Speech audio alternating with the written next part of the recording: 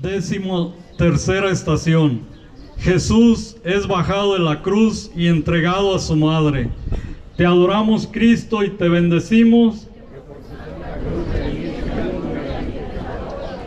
Padre nuestro que estás en el cielo, santificado sea tu nombre, venga a nosotros tu reino, hágase Señor tu voluntad en la tierra como en el cielo.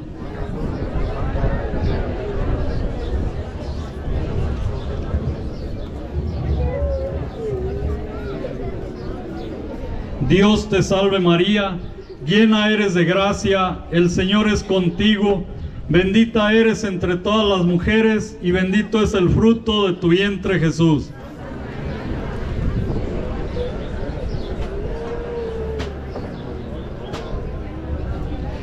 Gloria al Padre, gloria al Hijo y gloria al Espíritu Santo.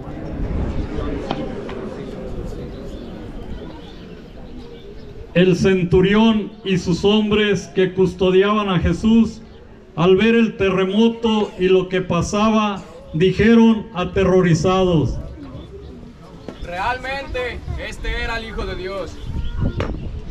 Había allí muchas mujeres que miraban desde lejos, aquellas que habían seguido a Jesús desde Galilea para atenderle.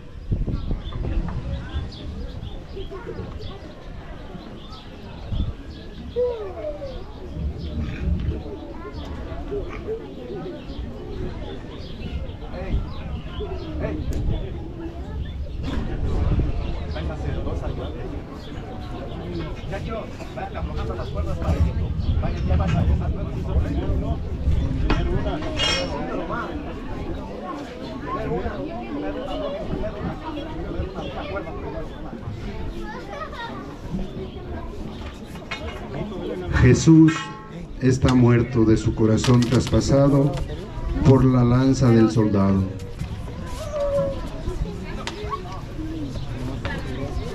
Mana sangre y agua, misteriosa imagen del, del caudal de los sacramentos del bautismo y de la Eucaristía, de los cuales, por la fuerza del corazón traspasado del Señor, renace siempre la iglesia, a Él no le quebraron las piernas como los otros dos crucificados.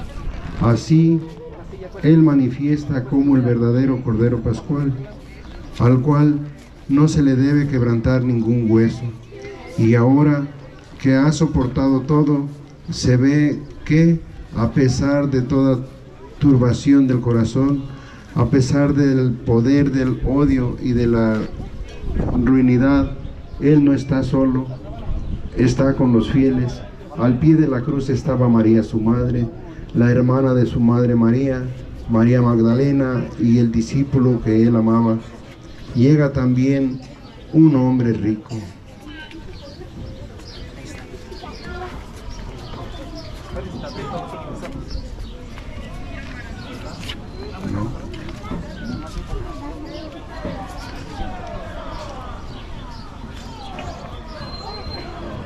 José de Arimatea. El rico logra pasar por el ojo de la aguja, porque Dios le da la gracia. Entierra a Jesús en su tumba, aún sin, sin estrenar.